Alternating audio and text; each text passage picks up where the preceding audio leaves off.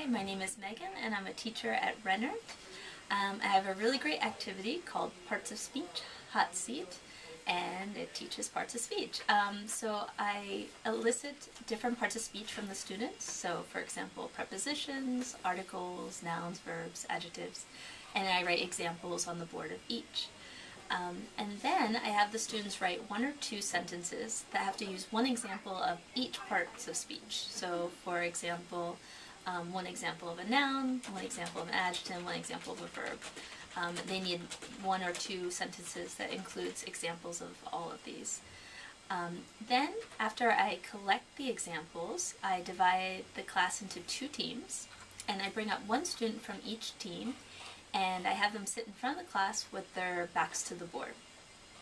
And then I write a sentence on the board, um, obviously a sentence that they didn't write and their teammates have to gather around them and give them clues for each word in the sentence.